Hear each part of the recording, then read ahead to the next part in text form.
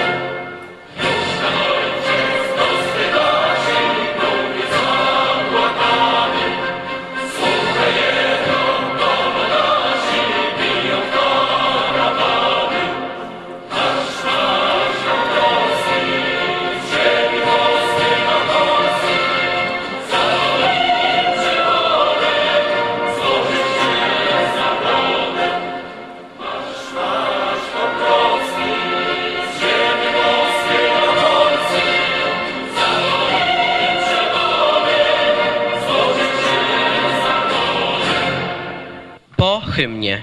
Proszę usiąść. Witamy serdecznie na naszej uroczystości zaproszonych gości. asystenta europosła Sławomira Kłosowskiego, pana Jacka Jarmolińskiego, rzecznika prasowego sierżanta sztabowego Łukasza Golinowskiego, zastępcę dowódcy jednostki PSP w Głubczycach kapitana Mateusza Szymusia, radnego Sejmiku Wojewódzkiego pana Leszka Antoszczyszyna. O zabranie głosu proszę pana dyrektora. Cieszę się bardzo, że z okazji naszego święta niepodległości mamy tutaj przedstawicieli y, tych organów, które z nami współpracują. Przede wszystkim chodzi tutaj o służby mundurowe, o naszych posłów, y, ponieważ jest to bardzo ważne święto. Pamiętamy, że y, jutro y, mamy 99. rocznicę odzyskania niepodległości i można powiedzieć tak, że od tego dnia zaczynamy już zastanawiać się i przygotowywać do pięknego jubileuszu setnej rocznicy odzyskania przez Polskę niepodległości. Pamiętajmy, że to były piękne czasy. Różnie na ten temat y, teraz się mówi. Mówimy o tym dwudziestoleciu, czyli to było, był bardzo krótki czas, tak? Od odzyskania nie- niepodległości do wybuchu II wojny światowej, a ile udało się w ciągu tego krótkiego czasu y, zrobić. Y, Ja chciałem y, też zachęcić Was, bo już widzę, że są hasła dotyczące czytania. Jest taki historyk Sławomir Koper, który bardzo taką dużą ilość, całą serię książek dotyczących y, II Rzeczpospolitej wydał. Jestem właśnie w trakcie czytania jednej z tych książek i zachęcam. Wiele bardzo ciekawych informacji będziecie mogli się tam dowiedzieć dotyczących tego naprawdę interesującego okresu w naszych dziejach. Bo pamiętamy, owszem, odzyskanie niepodległości, ale co się później działo? Przecież pamiętamy y, o tym, że granice nie były ustalone, że jeszcze było powstanie wielkopolskie, jeszcze były powstania śląskie, prawda? To wszystko się dopiero działo, ale oprócz walki była taka praca na co dzień. Pamiętamy pana ministra Kwiatkowskiego, port w Gdyni, czy centralny okrąg przemysłowy. To wszystko się działo w tym czasie. Oczywiście różne takie ciekawostki, także dla dziewczyn, czyli jakieś skandale obyczajowe i tak dalej. To wszystko y, y, działo się jak zawsze, bo y, wiemy, że to jest żywy organizm i ta Polska niepodległa tutaj też w tym kierunku zmierzała. Dużo ważnych spraw mimo tego, że był ciężki okres, pamiętamy, że wtedy też i kryzys był, ten duży kryzys gospodarczy, gdzie mieliśmy bardzo dużą inflację i pamiętamy o tym, że nasze państwo było w trudnej sytuacji. Dlaczego? Dlatego, że ponad 100 lat było pod różnymi zaborami, czyli mieliśmy tutaj do czynienia z czymś, co musiało dopiero być tworzone jako nowy organizm państwowy. Te zabory nie były z sobą kompatybilne, jak to się teraz ładnie mówi. To wszystko dzięki tym naszym przodkom, którzy w tym czasie y, też tutaj działali, osiągnęliśmy. I mam nadzieję, że patrząc na to, ile się udało osiągnąć w ciągu tych 20 lat, będziemy się starali także współpracować teraz dla dobra naszego wspólnego, bo tak się mówi, że najważniejsze tutaj dla nas jest to dobro wspólne, żebyśmy nie musieli uciekać, jak to niektórzy chcą gdzieś uciekać za granicę, prawda? Bo tu jest nasz dom i naprawdę możemy wspólnie tutaj mieszkać i jakoś dobrze, pięknie funkcjonować. Ja oddaję głos y, osobom, które przygotowały tutaj ten apel, bo tutaj pan Andrzej na pewno się starał. Zobaczymy, zresztą pani Justyna również, tak? I zobaczymy, bo ja tutaj nie wtrącałem się. Jestem ciekaw, co ciekawego dzisiaj usłyszymy. Także dziękuję bardzo za uwagę i oddaję głos naszym wykonawcom. Dziękuję. Dziękuję. Czy ktoś z szanownych gości chciałby zabrać głos? Dziękuję bardzo. Sztandar szkoły wyprowadzić.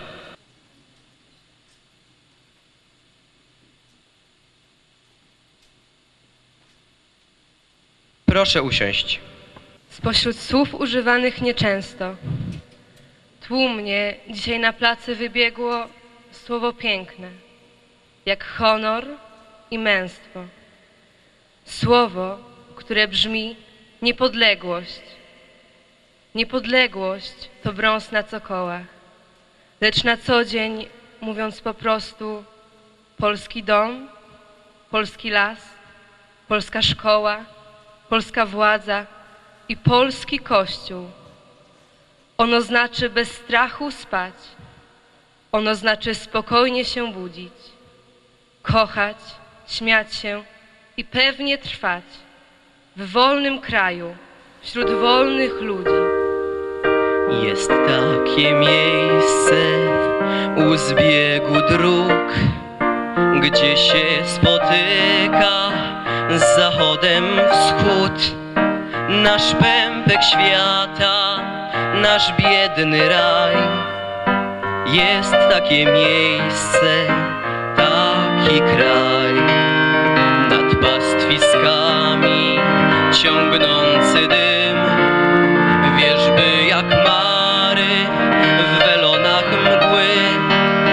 Tu krzyż przydrożny, tam święty gaj. Jest takie miejsce,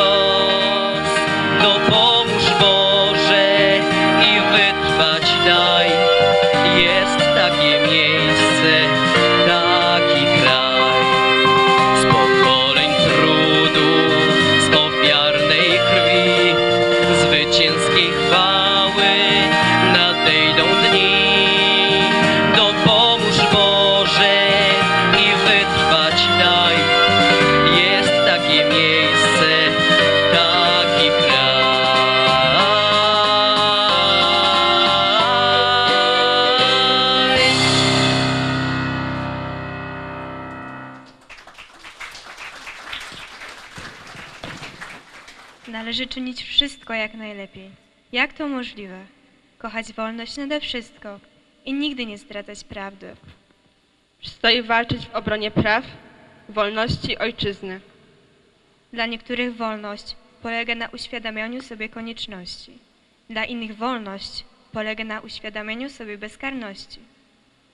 Ktoś, kto przyjmuje cudze dobro, sprzedaje własną wolę. Kto wierzy w wolność woli, ten nigdy nie kochał i nigdy nie, na, nie, na, nie nienawidził. Ten człowiek jest wolny, który, który żyje dla siebie, a nie dla innych. Wolności nie można tylko posiadać, nie można jej zużywać. Trzeba ją stale zdobywać i tworzyć przez prawdę. Dążenie do wolności jest wielką siłą człowieka.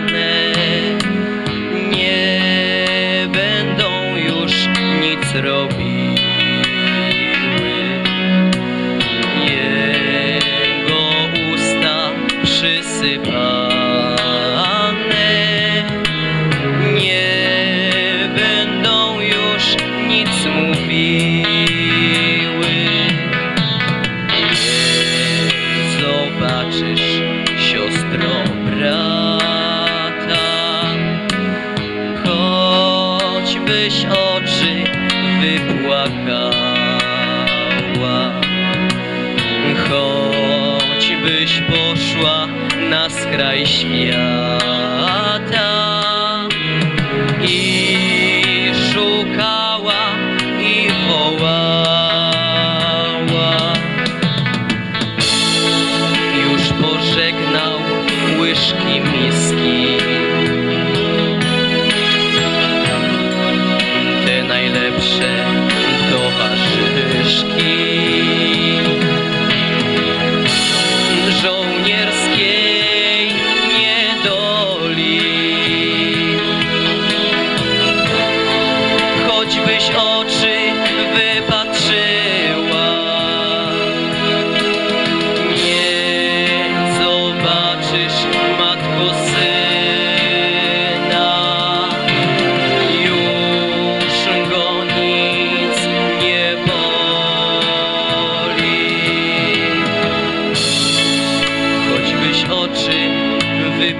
Amen.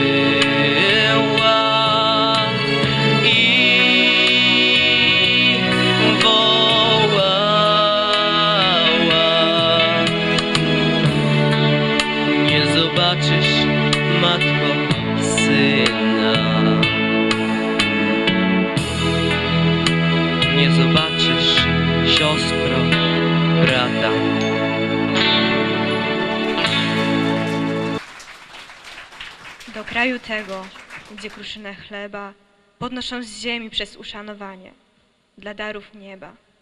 Tęskno mi, Panie. Do kraju tego, gdzie winą jest dużą, popsować gniazdo na gruszy bocianie, bo wszystkim służą. Tęskno mi, Panie. Do kraju tego, gdzie pierwsze ukłony, samego odwieczne Chrystusa wyznanie. Bądź pochwalony. Tęskno mi, Panie. Tęskno mi jeszcze i do rzeczy innej, której już nie wiem, gdzie leży mieszkanie, równie niewinnej. Tęskno mi, Panie, do beztęsknoty i do bezmyślenia, do tych, co mają tak za tak, nie za nie, bez światło cienia. Tęskno mi, Panie, tęskno mi ówdzie, gdzie, gdzie któż o mnie stoi. I tak być musi, choć się tak nie stanie. Przyjaźni mojej, tęskno mi, Panie.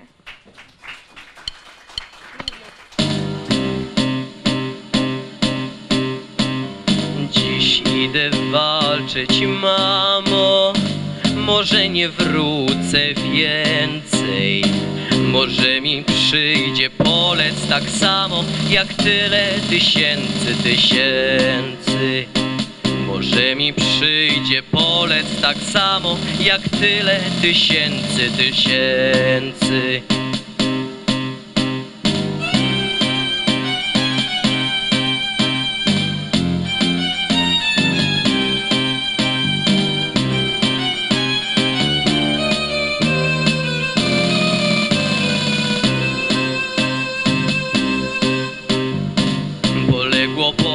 Żołnierzy wolność naszą i sprawę. Ja w Polskę, mamo, tak bardzo wierzę i w świętość naszej sprawy. Ja w Polskę, mamo, tak bardzo wierzę i w świętość naszej sprawy. Dziś idę walczyć, mamo kochana, nie płacz, nie trzeba, ciesz się tak jak ja. Serce mam w piersi rozkołatane, serce mi dziś tak dumnie gra. Tak strasznie dobrze mieć scena w ręku i śmiać się śmierci prosto w twarz. A potem zmierzyć i prać bez lęku za kraj, za honor nasz. Tak strasznie dobrze mieć scena w ręku i śmiać się śmierci prosto w twarz. Zmierzyć i prać bez lęku za kraj, za honor nasz. Dziś idę walczyć, mamo. Może nie wrócę więcej. Może mi przyjdzie polec tak samo jak tyle tysięcy, tysięcy. Może mi przyjdzie polec tak samo jak tyle. Historia Polski była niezwykle burzliwa, zwłaszcza w okresie porozbiorowym. Od kiedy Polska została podzielona po raz ostatni i całkowicie zniknęła z map Europy, wiele najznamienitszych osób czyniło starania, aby na powrót stała się częścią starego kontynentu. Udało się to dopiero po zakończeniu I wojny światowej i podpisaniu traktatu wersalskiego. Było to możliwe dzięki staraniom takich osób jak Ignacy Jan Paderewski, Józef Piłsudski czy Roman Dmowski. Było też wiele innych osób, które pomogły Polakom w ich walce o niepodległość, także wśród zagranicznych dygnitarzy. Jednakże wśród narodu ducha patriotyzmu i chęci walki o odzyskanie niepodległej ojczyzny podtrzymywała poezja, która towarzyszyła im od zawsze, a szczególnie ważną rolę odegrała w czasie wielkiej emigracji. Dziś Dzień Niepodległości obchodzimy w dniu 11 listopada. Jednak nie zawsze tak było. Na samym początku datę świętowania wyznaczono na dzień 7 listopada, czyli rocznicę uznania tymczasowego rządu Ludowego Republiki Polskiej. Dzień 11 listopada został uznany za ten, w którym będzie obchodzony Dzień Niepodległości, dopiero w 1937 roku. Jednakże ciągłość obchodów w 1939 roku przerwał wybuch II wojny światowej. Pierwszym świętem narodowym po zakończeniu II wojny światowej było Narodowe Święto Odzyskania Polski, które świętowano w dniu 22 lipca, czyli w dzień będący rocznicą podpisania manifestu PKWN.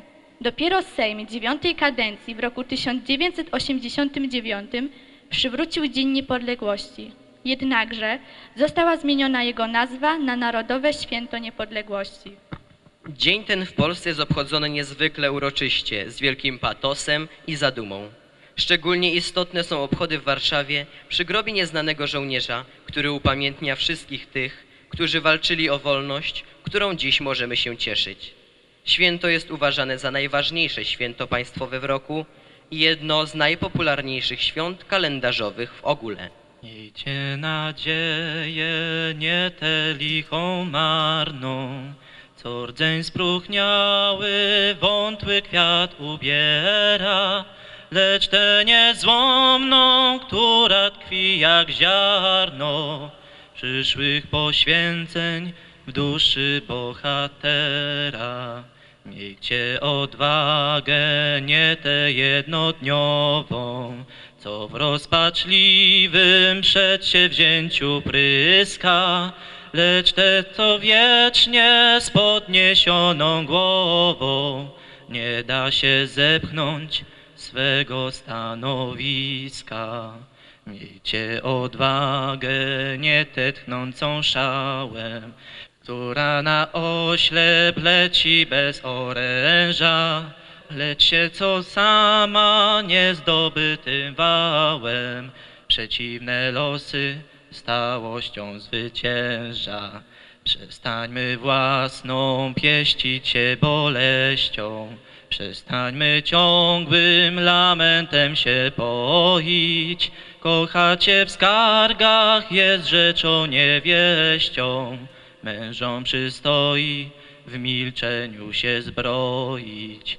Lecz nie przestańmy czcić świętości swoje i przechowywać ideałów czystość. Do nas należy dać im moc i zbroję, by z kraju marzeń przeszły w rzeczywistość. Miejcie nadzieję, nie tę lichą marną, co rdzeń spróchniały, wątły kwiat ubiera, lecz tę niezłomną, która tkwi jak ziarno przyszłych poświęceń w duszy bohatera. Bez tej miłości można żyć. Mieć serce suche jak orzeszek, malutki roz naparstkiem pić, z dala od zgrozy i pocieszeń. Na własną miarę znać nadzieję, w mroku kryjówkę sobie ubić. O blasku próchna mówić dnieje, o blasku słońca nic nie mówić.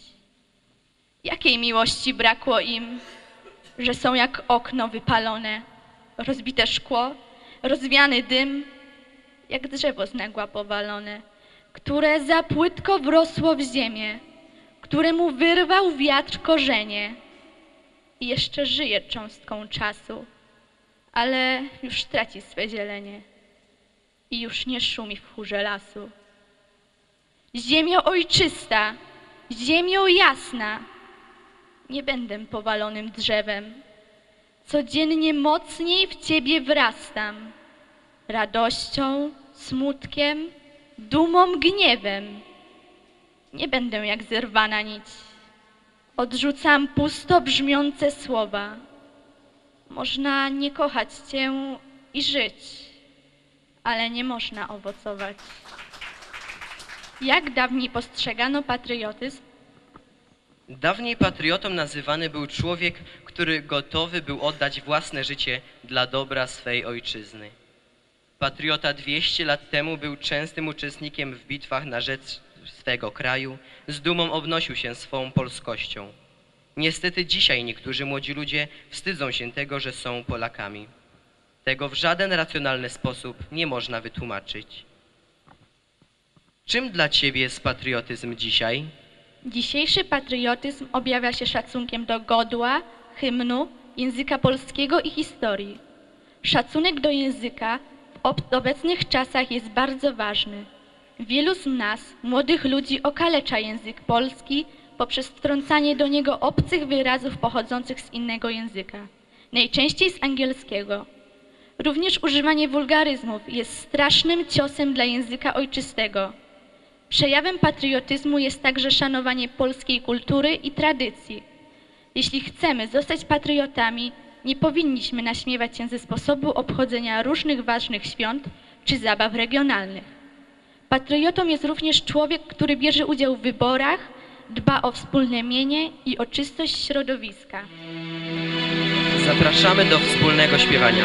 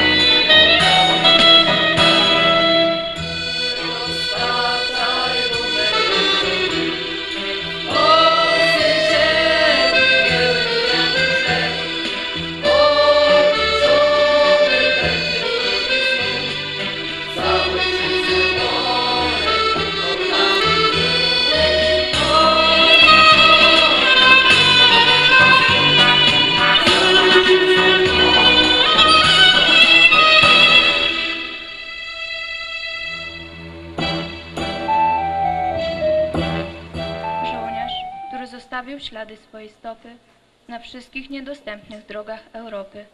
Szedł naprzód, gdy nie mogli najbardziej zajadli i wdzierał się na szczyty, z których inni spadli. Zdobywszy wolność innym dłońmi skrawionymi, dowiedział się nareszcie, że sam nie ma ziemi. I wtedy ktoś rozumny, nierozumny szałem, powiedział mu, od dawna wszystko to wiedziałem. Wiedziałem, że nikt twoich ran ci nie odwdzięczy, bo czym krew, co płynie, przy złocie, co brzęczy? Nigdy nikt nie liczył leżących w mogile, bo czym jest duch anielski przy szatańskiej sile? Jak żal mi, że ci oczy nareszcie otwarto i powiedz sami teraz, czy to było warto. A żołnierz milczał chwilę i ujrzał w tej chwili tych wszystkich, którzy legli w cudzozie- cudzoziemskim grobie, co mówili wrócimy, nie myśląc o sobie.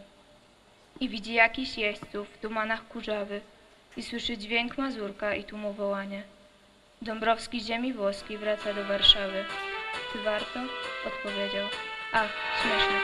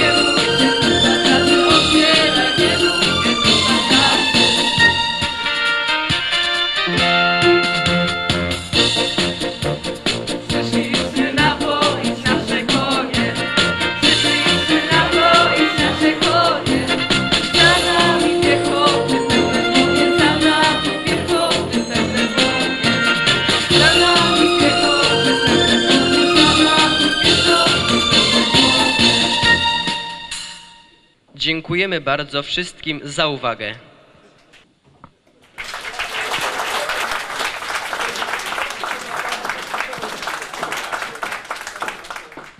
E, Serdecznie dziękuję uczniom klas pierwszych, tak, przede wszystkim, chociaż też i byli z klasy drugiej, tak już tutaj G i trzeciej, tak, ale y, trzon cały taki główny to uczniowie klas pierwszych stanowili.